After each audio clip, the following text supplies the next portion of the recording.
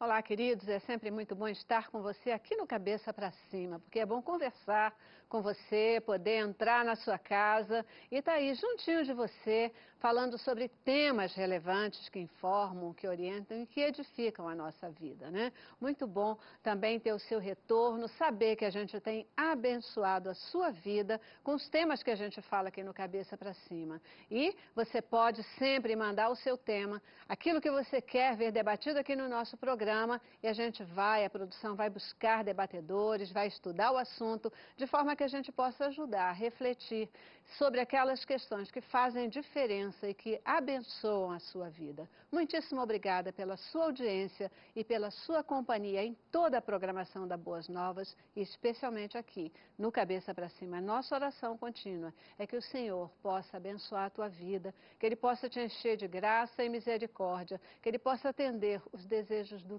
teu coração e te trazer paz a paz, doce paz, que só Ele efetivamente pode trazer para cada um de nós. 20 de novembro, o dia da consciência negra, é um dia separado para chamar a atenção para a luta dos negros contra as discriminações raciais e também contra o racismo. É incrível que, em pleno tempo em que vivemos atualmente, no tempo da globalização, a gente ainda precise falar desse assunto, mas precisamos. Por quê? tanta discriminação. O que pode, deve, é preciso ser feito para que essa situação possa mudar. Cabeça para cima, entra nessa luta, conversando e refletindo com você hoje sobre consciência negra. Começamos com o nosso informativo e tem um time especialíssimo para conversar conosco hoje. O Dia Nacional da Consciência Negra é celebrado em 20 de novembro. Foi criado em 2003 e instituído em âmbito nacional mediante a Lei número 12.519, de 10 de novembro de 2011, sendo considerado feriado em cerca de mil cidades em todo o país. A data foi escolhida por coincidir com o dia da morte de Zumbi dos Palmares em 1695. Sendo assim, o Dia da Consciência Negra procura remeter à resistência da etnia contra a escravidão de forma geral, desde o primeiro transporte de africanos para o solo brasileiro. Algumas entidades, como o Movimento Negro, organizam palestras e eventos educativos direcionados principalmente para crianças negras. A instituição procura evitar o desenvolvimento do alto preconceito, ou seja, a sua própria diminuição perante a sociedade. Pois é, né, gente? Dia da Consciência Negra, aí, em homenagem ao grande líder negro Zumbi dos Palmares. Vamos conversar sobre esse tema exatamente para que a gente possa tentar entender por que ainda tanta discriminação? Por que ainda tanto preconceito? Você se considera uma pessoa preconceituosa? Ou você acha que você tem conseguido já superar essas questões? Ou você ainda é daqueles que acha que cor de pele pode significar qualquer diferença entre seres humanos? Consciência negra é o nosso tema. Para falar conosco aqui hoje, Carlos Alberto Medeiros, ele que é escritor e mestre em ciências jurídicas e sociais. Muitíssimo obrigada, sempre muito bom recebê-lo aqui no Cabeça para Cima. É um prazer estar de volta. Tá bom.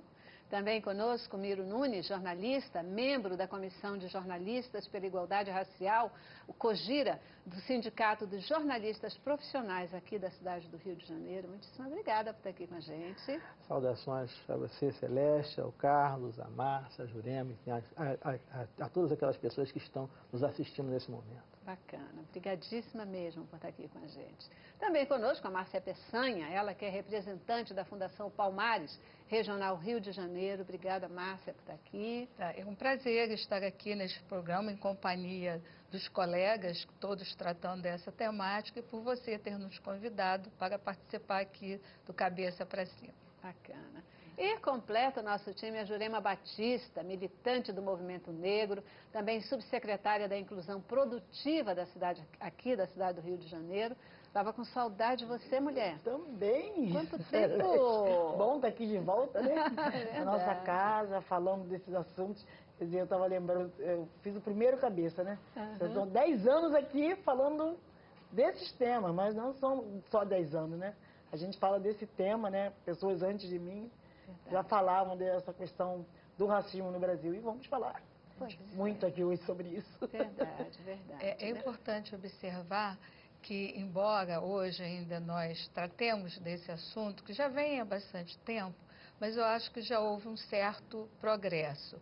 É, principalmente nas escolas, com a Lei 10.639, que nós começamos a trabalhar com essa temática, encontrando dificuldades, é claro, mas eu acho que uma primeira semente foi lançada, não é? E, e eu acho que quanto mais nós estamos dando visibilidade, como aqui nesse programa, em outros espaços que nos acolhem, é, trazendo nossa voz, trazendo o que nós uhum. sentimos, uhum. eu acho que faz com que a população também vá se conscientizando e esse Dia da Consciência Negra sirva como reflexão, porque não é só nesse dia, uhum. são todos os dias importantes para que nós possamos, no cotidiano, trabalhar com essa temática. É isso aí. Um dia é para dar destaque, é pra... né? chamar a atenção, Sim. trazer as pessoas uhum. à reflexão, que tem que perdurar por todos os dias, de fato. Né? Eu acho que uma boa estratégia a gente começar trabalhando a mentalidade das crianças. Né? Eu acho que isso é um caminho que pode provocar uma mudança segura, né? já que adulto parece que é tão difícil de mudar a cabeça, né? não? É, e uma grande é, uma vitória que está sendo obtida. Alguns anos atrás, é, meu filho estudava no Colégio Garriga, em Jacarepaguá, e eu fui convidado a fazer uma, uma atividade com supervisores. E um deles levantou uma questão importante. Vocês querem que essa, essa lei 10.639, que ela pegue coloquem perguntas sobre esse tema no vestibular. Isso vai forçar as escolas a, a, a, a, abordarem a questão. Esse último Enem houve pelo menos quatro questões relacionadas a essa temática. Uhum. E isso significa que, especialmente aquelas escolas de mais é, preocupadas com ranking, elas estão trabalhando esse tema. E isso vai se espalhar para o conjunto. Eu é. creio que é um avanço significativo. Com certeza, porque eu sempre digo, criança não nasce racista. Claro. A criança, na verdade, ela é fruto do que ela aprende ou apreende na sua casa, né? E ela leva isso para o contexto é, social. Uhum. É, e a gente estava aqui antes de começar o programa falando exatamente isso, né? Sim. A criança, principalmente que estuda numa escola particular cara, ela não tem contato, por exemplo, com uma criança negra. Ela consegue ver o negro em lugares, né, é, na faxina, na cozinha, sempre como alguém que esteja servindo.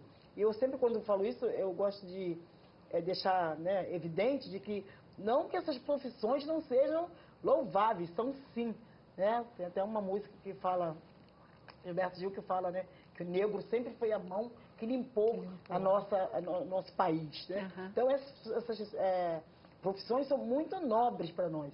Mas não só essas, eu quero que a menina negra é, é, que esteja estudando, quando ah, gosto de criança, ah, legal, vai ser babá. Uhum. Por que não pediatra? né? Então, mas só que a criança, ela está condicionada para o próprio ambiente escolar e na sua casa, que também vê um negro, não em situação é, sempre nessa situação de, de, serviço, de não sentar à mesa com ele. Uhum, então, uhum. essa questão de trabalhar a cabeça da criança para a gente é fundamental, porque é a partir daí que vai haver a mudança. É isso. Ou seja, é, você falou da família, a escola, escola, e os meios de comunicação que reforçam essa imagem o tempo todo. É, e valorizando, inclusive, a estima da criança negra é, nas escolas, trabalhar também com a literatura infantil, que hoje uhum. nós temos vários escritores que trabalham com essa temática e trazendo para a criança a presença positiva da personagem negra, uhum. não é como herói, como protagonista, e também reavivar a memória do próprio Zumbi, o nosso grande herói, não é que é a Fundação Palmares até é, tem na Serra da Barriga não é, o, o espaço lá dedicado ao zumbi, e nesse Dia da Consciência Negra, trabalhar também, como eu estou falando, divulgando com os jovens a importância do zumbi como um herói nacional, porque senão nós louvamos outros heróis importados e esquecemos do nosso herói principal, que é o zumbi, que trabalhou pela nossa liberação. E eu acho que quando a gente fala trabalhar o zumbi como um herói nacional, a gente está falando trabalhar um negro como herói, Sim. né? Porque os negros também são heróis, né? Sim. A gente tem até outros é, é, mais Outros, recentes é, mais que foram recentes. considerados como heróis. A gente É. viu lá o nosso ministro, né, do Supremo Sim. Tribunal. Uau, né? Quer dizer, um negro como pa- parece que é uma coisa assim que é, é inviável e a gente ainda se surpreende como país, né? Quando um negro assume uma posição de destaque. Essa é, efetivamente uma das questões. É, vocês Porque estão tem a falando ver com Aham. porque tem a ver com a história. É, É, eu me aí, lembro que quando aí. na minha infância, eu, eu- eu- depois, quando eu virei militante do movimento negro, que eu entendi porque eu tinha tanta vergonha de quando falava de 13 de maio. Aham. Porque era coisa da escravidão. Aham. O negro não é nasceu escravo.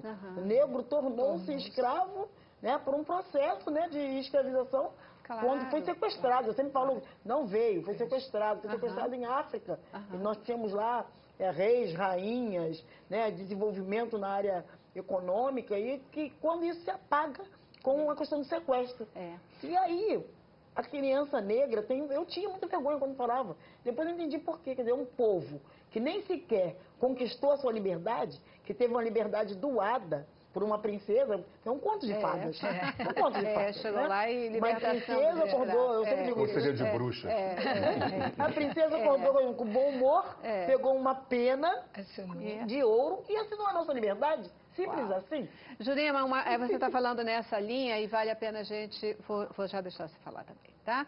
É, é, é, essa linha de que, por exemplo, hoje, quando se reconhece a profissão do empregado doméstico, né, aí com direitos iguais, uma profissão que tem direitos iguais a todas as outras, isso é uma alavancagem também nessa situação, né? Porque a gente também vai ver, já falamos aqui, né? Normalmente são é, é, é, os negros que é, vão para essas profissões e reconhecer essa profissão como uma profissão igual a qualquer outra, com os mesmos direitos, para mim é uma alavancagem também nessa situação. Meu amigo Especialmente Miro, para quem é filho, no meu caso, foi filho de uma empregada doméstica, eu também. só posso ver isso com Eu também. o máximo de simpatia. é verdade, é verdade. Miro, Não, é, a gente estava falando aqui de- da questão também da, da autoestima e da escola.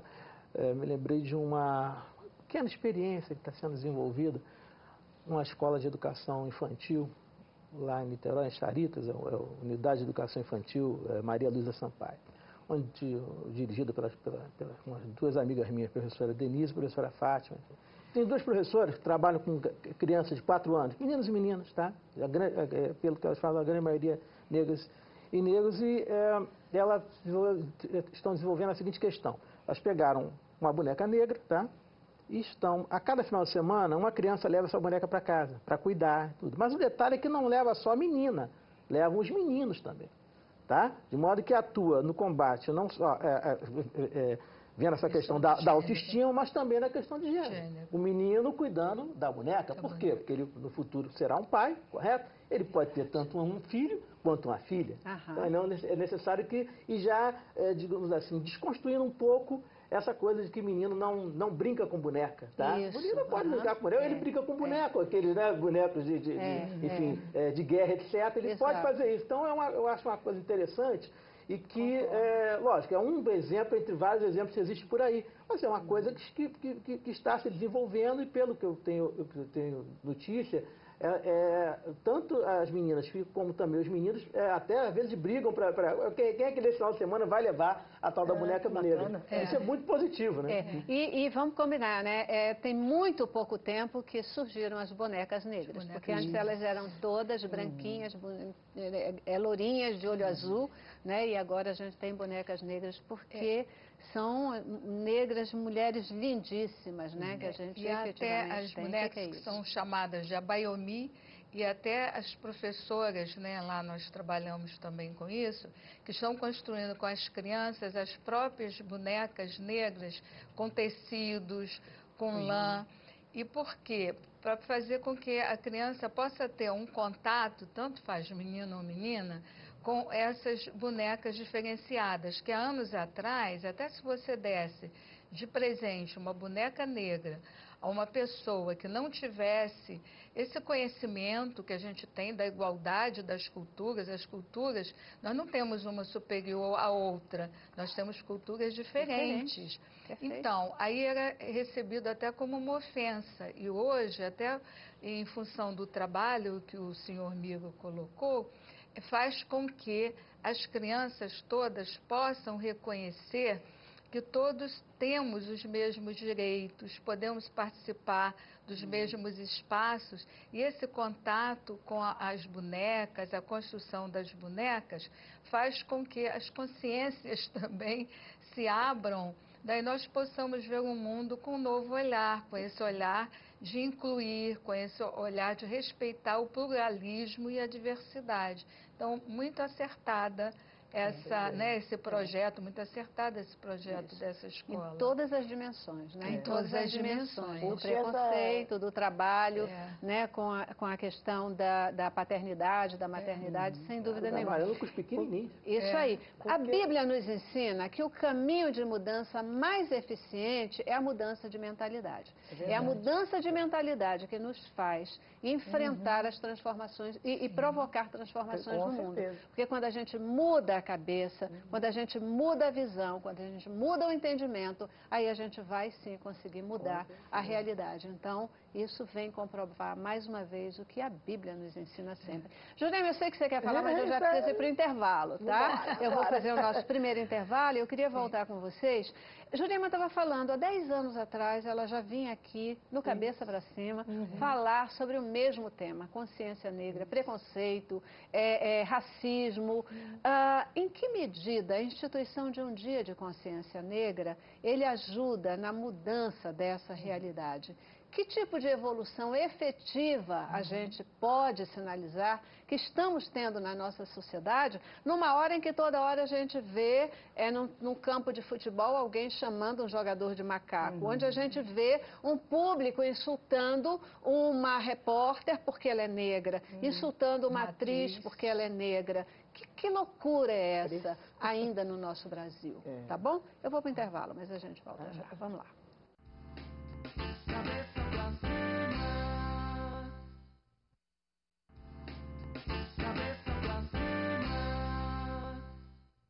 Isso aí, queridos. 20 de novembro, dia da consciência negra, né? Ainda um dia dedicado para chamar a nossa atenção, de todos nós, para a luta dos negros contra o preconceito racial, contra o racismo, coisas ainda tão presentes na nossa sociedade. Você já parou para pensar como é que você reage? Você tá que afirma que não é racista. No dia a dia, em todas as suas relações, você pode mesmo afirmar essa questão? E aí? Em que medida é o dia, ter um dia dedicado a essa reflexão, o dia da consciência negra, isso tem mudado ou melhorado a nossa realidade de preconceitos e racismos no Brasil? Olha, a própria instituição desse dia é, já é uma- um marco nesse processo.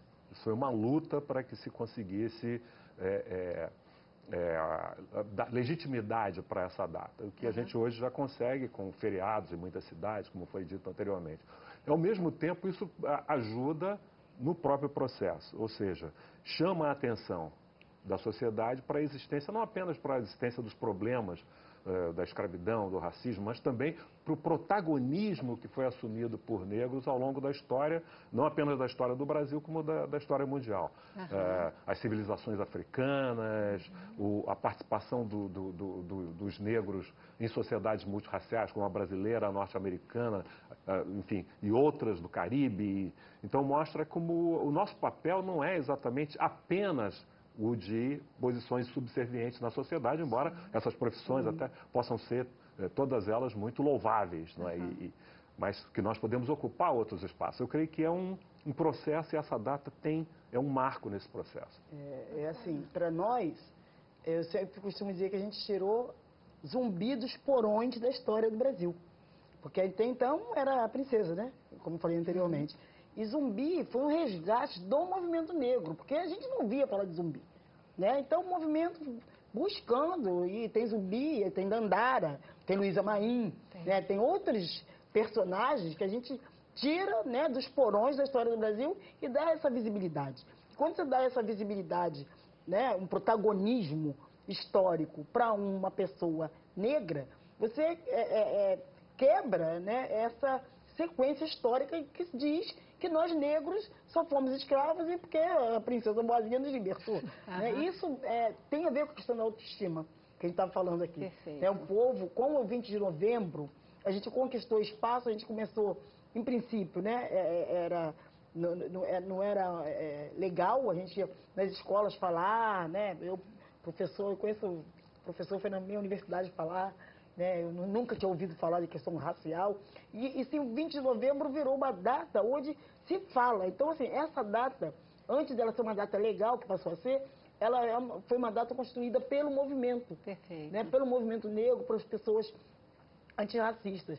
E é um dia que hoje assim, é nacional, aqui, por exemplo, no Rio de Janeiro é feriado, é, primeiro foi municipal, agora é estadual. Nós temos, como foi falado antes, várias cidades, São Paulo, né, é feriado. Então, assim, a gente vai conquistando, vai trazendo discussão. Querendo ou não, essa discussão ela acontece dentro de todos os lados. Mas por que hoje é feriado? Verdade. É só porque é um lazer? Uhum, não, uhum. porque é um dia na Serra da Barriga, né, um líder né, que liderou um quilombo, que teve mais de 100 anos, o quilombo dos Palmares, e ali aconteceu a morte desse líder. E aí tem toda uma história que você resgata para não só para os negros, mas para o Brasil inteiro. Perfeito. E até educativo. E nós. até considerando esse protagonismo que hoje né, toda a população negra, que tem os seus líderes, é, está assumindo, fez um movimento contrário de provocar, até porque a mídia hoje divulga mais, como uhum. vocês aqui nesse programa,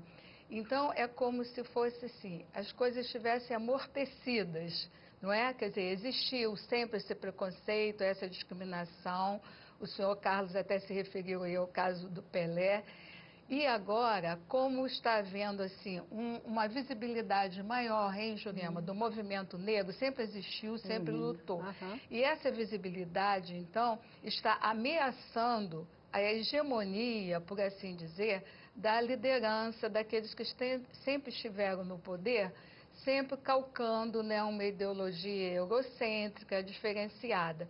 Como agora né, nós temos nas artes, na educação, de uma maneira geral, esse movimento que está vindo assim muito forte, é? o que, que acontece? Começou então a ter essa reação contrária de dar uma visibilidade maior à discriminação e ao preconceito que sempre existiram na sociedade brasileira. Uhum. Daí o ataque a Thais Araújo, aquela outra repórter, Maju, não é que assim, eles estão nos ameaçando. Então temos louca, que combatê-los. Vocês não concordam que é isso? Que eles começaram louca. a ter receio, porque nós estamos chegando assim de uma forma é, heróica, mas ao mesmo tempo de uma forma assim, fundamentada e com apoio até de alguns segmentos da mídia, não de todos. Então está havendo é, essa, esse encontro né, que eles não gostariam, porque era sempre a história contada de uma forma né, que todos nós aprendemos nos livros didáticos, até que a Jurema se referiu, nós não conhecíamos essa outra face da história. Então, agora, quando essa outra história emerge, está sendo assim discutida, avaliada, então os outros pensaram, e temos que colocar as barbas de molho, porque é um enfrentamento que está começando. Mas, gente, Eu é diria é que é uma loucura, outra né? coisa, além. Também. Eu diria que é uma outra coisa que é uma novidade é, que é o fato de os negros estarem reagindo sim, a coisas que eram aceitas como normais. É então as ofensas sempre estiveram aí, uhum. mas as pessoas aceita, aceitavam, aceitavam, baixavam, a, cabeça, a cabeça porque é. não viam nenhuma forma de enfrentar aquilo. Sim. E hoje existe resistência. resistência. Aquilo que você estava falando, né? A, história, a novidade na história do jogador, que chamaram de, de, de macaco, a novidade foi a banana, a banana jogada. Sempre, sempre, Porque a ofensa existiu sempre. Sempre existiu. Uhum, sempre. O livro uhum. do João Rufino, do, Rufino do Santo, que é o racismo, é, ele relata um, um, incidente num campo de futebol, que era exatamente o jogador negro sendo ofendido, uhum. negro filho, não sei o quê. Bom, bom. Aí, num determinado momento, ele fala o seguinte, fazer uma experiência. Quando um branco fez uma jogada errada, ele xingou o branco. Uhum. E aí houve um mal-estar. Uhum. Claro. Porque a, a ofensa ao negro é normal. Aham. Então, eu acho que assim, o momento que a gente está vivendo, né? O Brasil, infelizmente, a gente está vivendo um momento de recrudescimento de, um, de uma coisa assim, né? Que realmente está muito ruim. As pessoas são muito intolerantes em todas as áreas. Com a mulher, né? A gente viu que a violência contra a mulher cresceu, contra a mulher negra muito mais, Aham. né? Os índices que a gente tem na última pesquisa sobre violência contra a mulher, as mulheres negras são as que mais morrem, né? É, e a sociedade também vai ficando intolerante porque a gente começou a verbalizar, Sim. né? A gente começou a denunciar. A gente, por exemplo, é, é, tá na, na- na internet, toda hora a gente vai lá e entra com, com alguma coisa no MP, sabe, pedindo para retirar a página. Tipo assim, odeio mulher negra, não caso com mulher preta. Né? Várias coisas assim que a gente conseguiu, eu mesmo consegui. É, é- é inadmissível na É. minha cabeça. É, Pensar que isso nos nossos dias ainda acontece é Pois uma é. coisa assim que incomoda, né? Mas Mexe com a isso alma. sempre Mas aconteceu. é o problema Nunca parou de acontecer. É, É, é, isso que, é que, que Carlos É, que né? tá Que o professor Carlos. Alberto falou. Isso sempre aconteceu. Só que agora a gente está reagindo. E por que está reagindo? Está reagindo porque hoje a gente tem a tal consciência negra. Ciência negra. Então, Jurema, pegando esse gancho, é, é um negócio que eu estava aqui querendo comentar também com vocês, porque a consciência negra, ela é para os dois lados, é para todo mundo, vamos chamar assim, né? Ela é para quem não é negro e é para quem é negro, para restaurar essa autoestima, para dizer né, que, que somos todos iguais, somos todos humanos e isso é que importa. E isso faz com que as pessoas reajam, com que se tomem posições, com Claro. que é, haja um movimento numa direção diferenciada, não é É, isso? Esse agora, quer dizer, na, a bem da verdade, né, ele é um processo. Né? Uhum. Na realidade, ele vem desde a campanha abolicionista, no século XIX, segundo vários, várias pessoas que estudam aprofundadamente sobre isso. Foi o maior movimento eh, reivindicatório do, do- do- que aconteceu aqui neste país. Ah, e passando desde e- e- eh, a partir do dia do dia 14 de maio de, mil, de 1888, né? Aí foi, passamos pela, pela, pela na, na- no final dos anos 20, na década de, de, de 30, com a Frente Negra, que foi um marco, um partido político e um movimento social importantíssimo, né? Que teve como um dos, um dos, uma das lideranças o saudoso senador e jornalista Abdias Nascimento.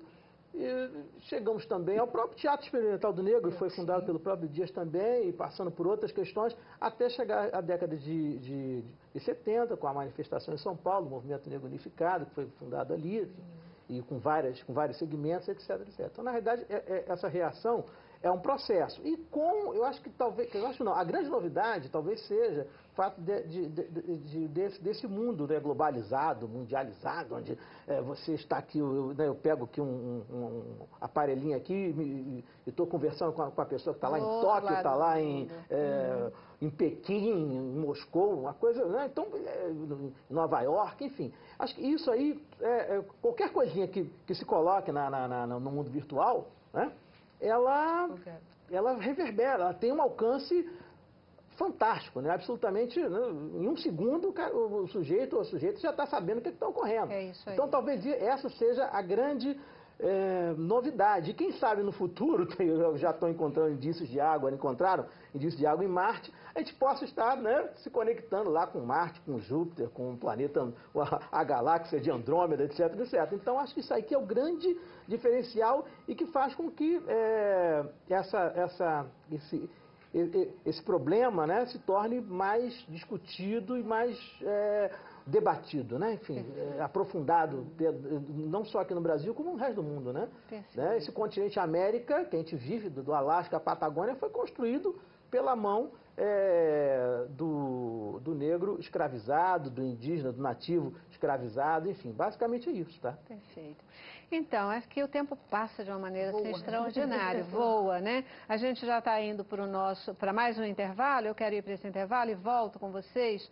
Ah, tem sido tomadas algumas medidas, né, no sentido de é, é, é, estar nessa luta, de reduzir as diferenças é, entre negros e, e brancos, vamos colocar assim. É, em que medida vocês podem considerar que as cotas né, nas escolas, etc., elas de fato têm sido um diferencial e que outras medidas ainda precisam ser tomadas pelo, pelo, pelo poder público, é, pela sociedade, no sentido de que a gente possa enfrentar juntos essa batalha contra ah, racismo e, e preconceitos uhum. raciais e essa questão toda. Tá? Eu vou para o intervalo, mas a gente volta já já. Vamos lá. Cabeça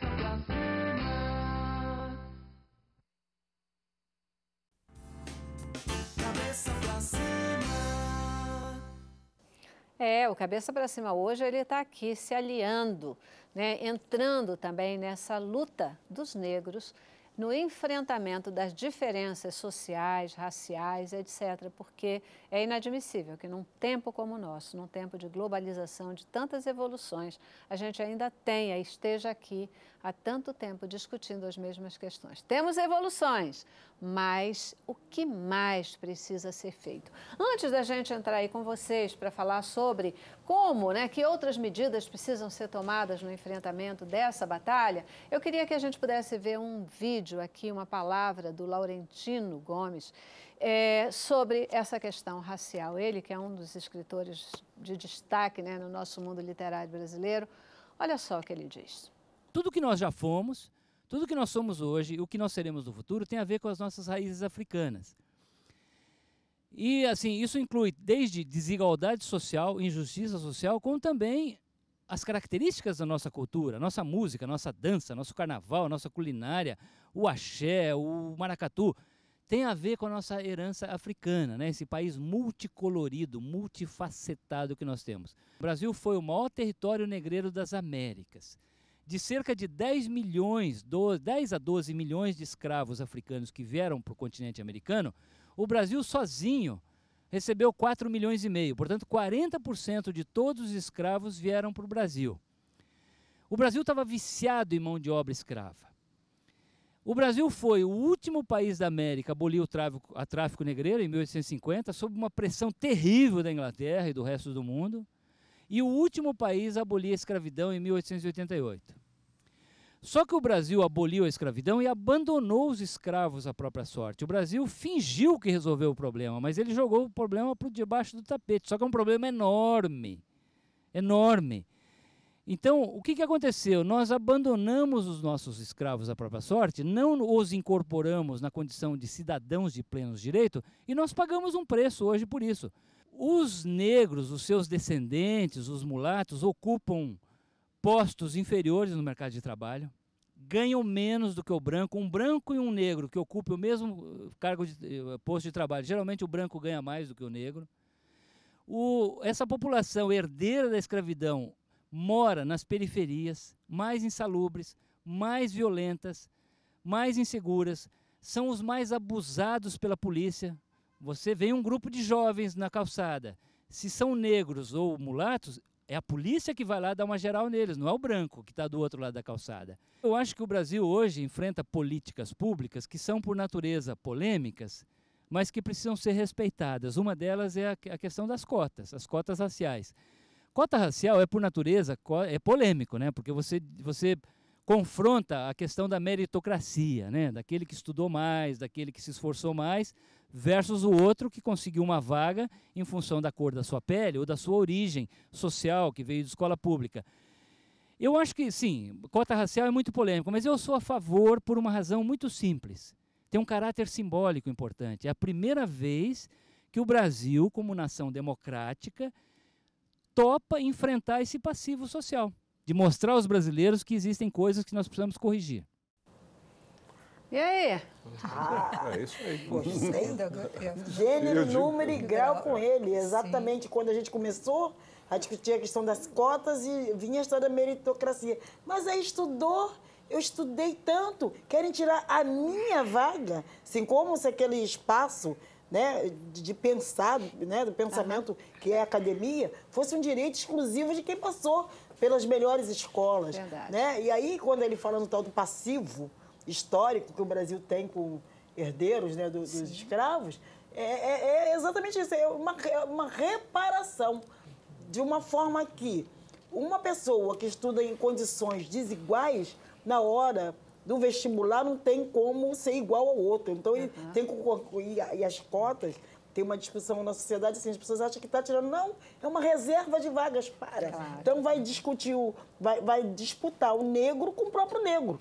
Eu ouvi um comentário outro dia, é, é, não só eu, né, mas li esse comentário absolutamente infeliz, né? Houve aí até um é, movimento em relação a isso de alguém que falou que é, se você fosse para uma consulta médica com um branco e um negro que entrou na universidade por cota, quem, com quem você se sentiria mais seguro? A primeira pergunta ah. é como é que essa pessoa vai saber hum. se, aquela, se aquele médico entrou por cota ou não? Esse é o primeiro claro. lugar. Não existe não um diploma como. que diga formato. É negro, na, entrou por cota. E na verdade, é. e na verdade, o, a, a, cota ou outras formas de ação afirmativa servem apenas para o início. Sim. Se a pessoa se graduou, é porque ela cumpriu todo o ritual, ela claro, compareceu sim. às aulas, claro. ela fez trabalhos fez finais de curso, fez, fez as provas, ou seja, ela se mostrou habilitada, porque a, a, a, a, cota, na verdade, é um empurrão inicial. E eu costumo dizer também que o outro grande efeito, para além dos milhares de alunos que estão entrando nas universidades, ou que estão, pelo menos, tendo a, a chance de sonhar com ingressar na universidade, graças a essas medidas, mas mais do que isso, essas medidas têm obrigado a sociedade brasileira, setores importantes da sociedade brasileira, a discutirem não as cotas, mas a questão racial. Muita gente que passou a discutir a questão racial em função das cotas. Uhum. E esse, para mim, me parece o, talvez o maior Educativo, benefício dessas medidas. Sim, também tem que lembrar o seguinte: quando você é, é, passa no, com, com, cota, você não deixa de estudar, não. Sim, você enfrenta uma prova. Sim. Então, primeiro ponto. É, e, e detalhe, é, você já passou por várias peneiras, hein? Aham. Você começa a estudar aonde? No, né? Desde o do, do, do, do, do hum, ensino básica, é, básica, básica é, é, é, a própria, agora, que já está praticamente obrigatória, a educação infantil. infantil. A professora conhece Sim, melhor do que eu. Então, educação infantil, infantil até chegar. Então, você já passou por diversos é. processos, você já driblou várias etapas, até chegar à, à cota, não só na universidade, como também no concurso público, para a ascensão, para, para, para a questão do, do é, ascensão ao mercado de trabalho, de trabalho que né, você tem que sobreviver de alguma maneira. Né? E, a ação, Porque... e a ação afirmativa também, quer dizer, como o próprio nome diz, a ação afirmativa, ela dá a possibilidade uhum. e o direito ao acesso. Então, nós temos alunos que são cotistas, eles não são inferiores no conhecimento. Tá? Quer dizer, é um, é um erro que a sociedade pensa isso, como Com o professor certeza. também já falou. Então, às vezes, eles são até em certo sentido, muito mais assim aproveitados no ensino, porque eles reconhecem e dão valor e eles vão muito adiante. Quer dizer, uhum. foi um erro histórico que já foi dito aí de termos relegado né, a, a população negra a condições assim, subalternas. Mas eles têm a mesma inteligência de todos, oh, a mesma capacidade Deus. de todos e isso tem que ser reconhecido. Então, o índice ação... de, de, evasão é menor. É, é menor, justamente, uhum. porque eles levam a sério. Então, eles uhum. têm um comprometimento.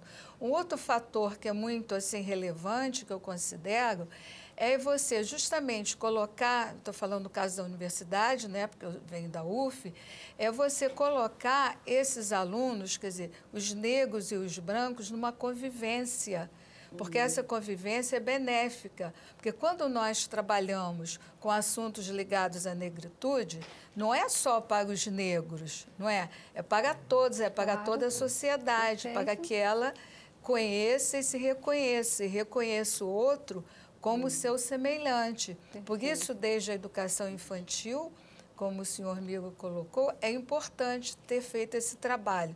Em algumas escolas particulares, a hum. colega que também já falou, é, às vezes você não encontra crianças negras. Se você não encontra crianças negras, as crianças brancas desconhecem também a cultura do outro, como uhum. que o outro é, como o outro né, pratica suas atividades. E se você, mesmo numa escola que só tenha brancos, você leva um texto infantil que coloca uma personagem negra e várias outras coisas, você vai tornando natural né, a presença negra nas escolas. Isso Agora, mesmo, é, é, isso mesmo. É, você tem falado muito em literatura, eu quero citar aqui uhum. e fazer uma homenagem a uma pessoa que eu admiro demais, que é Elisa Lucinda. Sim, né? sim Uma pessoa é. que eu tenho uma é. admiração fantástica, uhum. porque ela trabalha muito essa muito temática, temática. Né, em tudo que faz. Eu acho que tem feito, dado aí uma contribuição assim maravilhosa, uhum. os poemas que sim, ela tem, sim. os livrinhos infantis. Nós temos agora também toda, a Conceição né? Evaristo, uhum, que trabalha verdade, muito verdade, nessa linha. Verdade. E só retrocedendo, só porque você falou, Celeste, sobre escritora, a Carolina de Jesus, que era uma mulher negra, né, ela escreveu Quarto de Despejo, que foi um best-seller, e nós temos aí vários movimentos né, uhum. é, liderados que têm o nome da Carolina de Jesus.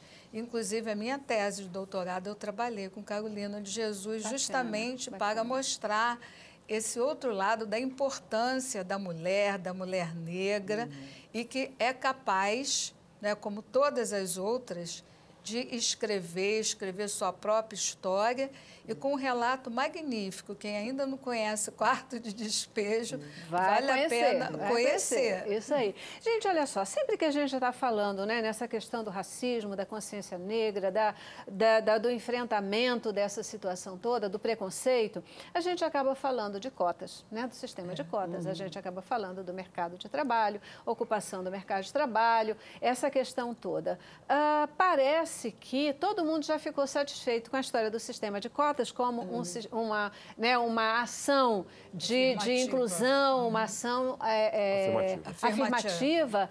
Agora, que mais precisa ser feito no sentido da gente abrir esse caminho? O que está faltando?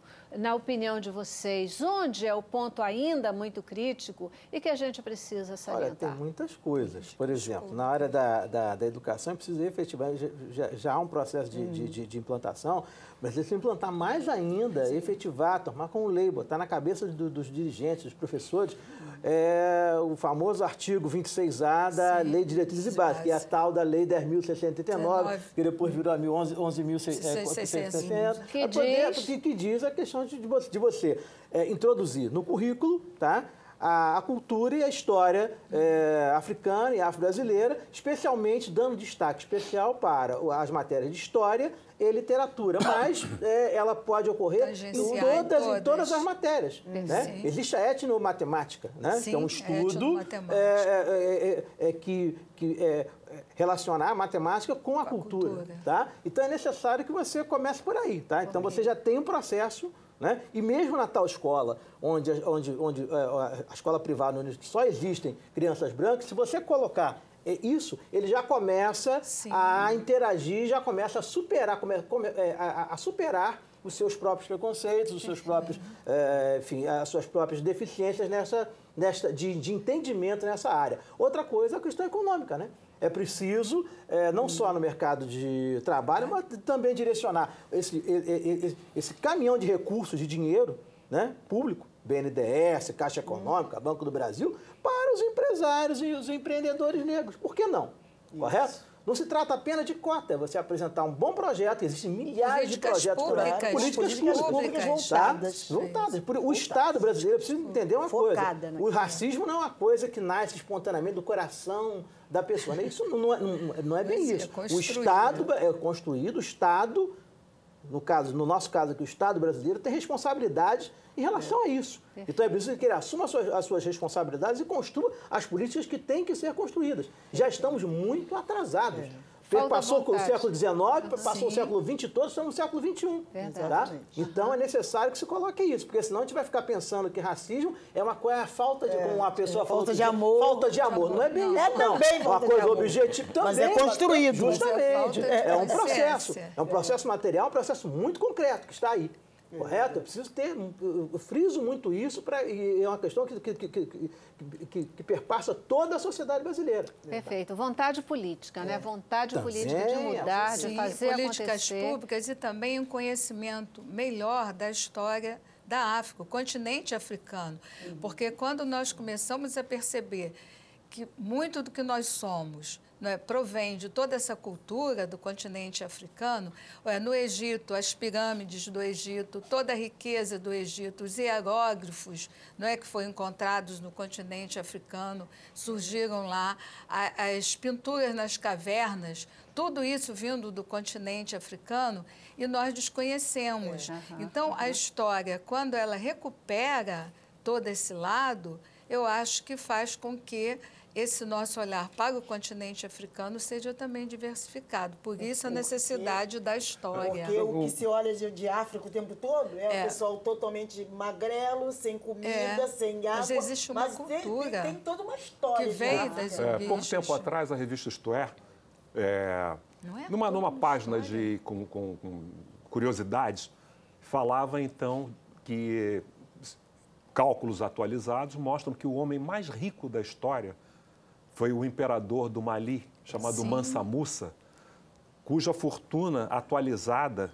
daria hoje mais de 500 bilhões de dólares. Ora, você não imagina jamais o homem mais rico sendo um africano. É isso Sim. mesmo, é isso mesmo, porque o olhar é sempre aquele olhar do escravo, escravo faminto, dessa questão, todos, dessa questão. Né? É isso aí, gente, 20 de novembro, dia da consciência negra, né? Exatamente para a gente poder trabalhar essas questões e mudar mudar mesmo o rumo dessa prosa, não só na questão das leis, mas começar Sim. a transformar tudo isso em comportamento, né? comportamento de cada um de nós, claro. que seja efetivo e que traga mudanças de fato. Vamos lá para o nosso último intervalo e eu volto já já para as nossas considerações finais. Vamos lá. Cabeça pra cima.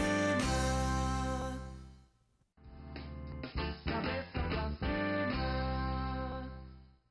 Aí nessa nessa fala, né, nessa reflexão sobre consciência negra, gente, estava me ocorrendo uma coisa aqui, porque, por exemplo, é, quando a gente fala assim de África, a história da África, fala do, de um, uh, uh, um poeta, por exemplo, que fala sobre África. Quem vem à cabeça de vocês?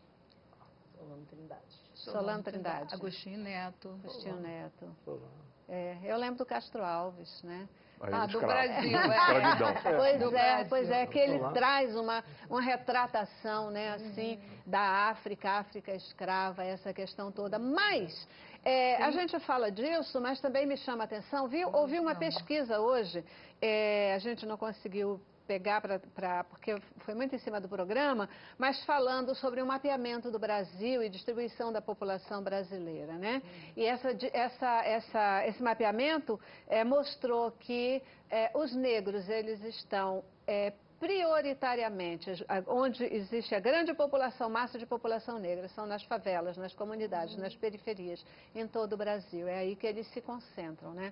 O que dá uma a, a, a, vem reforçar tudo que vocês disseram em relação das oportunidades é, dessa população. E uma coisa que eu acho que eu quero colocar aqui, que devia acabar, devia ser proibida, essa história de é, é, você estava falando nos safaris, os uhum. safaris em favelas aqui no Brasil. É. Os safaris em favelas aqui no Brasil. Uhum. Que agora a história moda, né? de estrangeiro que vem e é. brasileiro também que vai fazer tour na favela para olhar a rua da favela, o beco é. da favela, o negro da favela, como se fosse um animal que precisa ser lá olhado. O que, que, é isso? Um animal exótico. O que, que, é isso? Vamos é. acabar com essa história. É, não acabar tem nem a contrapartida. A gente podia também fazer safari na Vieira Solto, né? Exatamente. Por que não, né? Para mostrar. É, é, será, mostrar será, que, será, que, eles, será é, que eles aceitariam? Exatamente. Né? Né? Já que eu sou um animal, o outro também é um animal, não é isso? Exatamente, vamos não fazer. É? Se, se é tudo igual, isso não. eu proponho. Ou, ou, acaba com tudo, então vamos nos igualar. É isso aí. Porque o negro tem que ser visto não como objeto, mas ele tem que ser visto como sujeito de sua própria história. E como Perfeito. sujeito de sua própria história,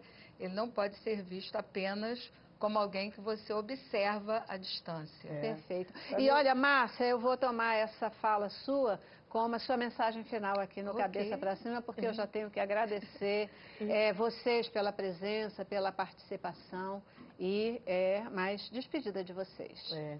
Pois é, nesse 20 de novembro eu, eu gostaria né, de desejar para todos nós uma imprensa livre, uma imprensa multirracial, porque eu acho que os meios de comunicação né, são fundamentais na mudança cultural Perfeito. e de pensamento da nossa sociedade. Estamos pensando em mudar. Né? Mas quando tem para mudar, tem que ver.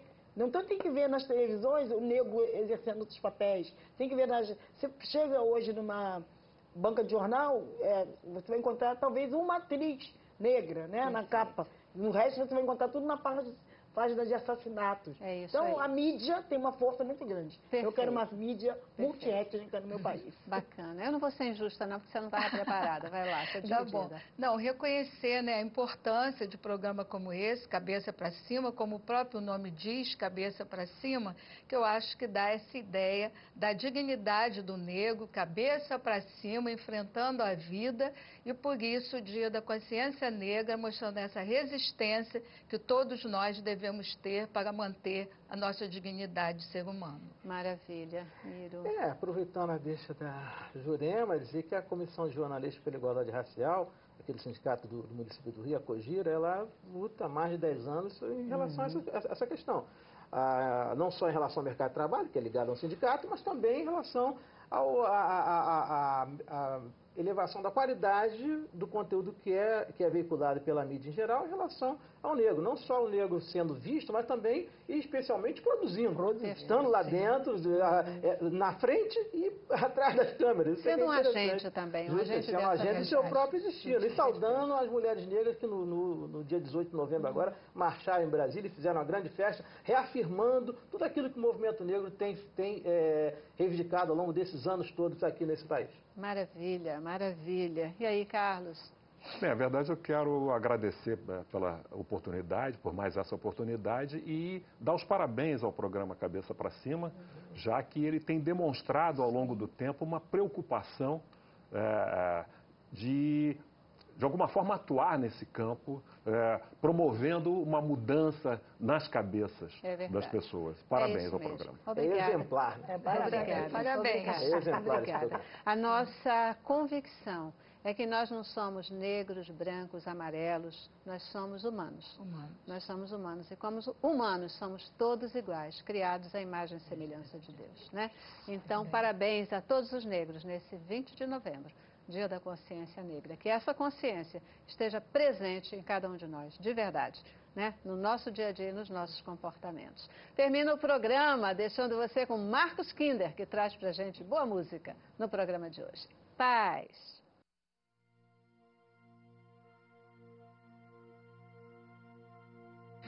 Não vá dizer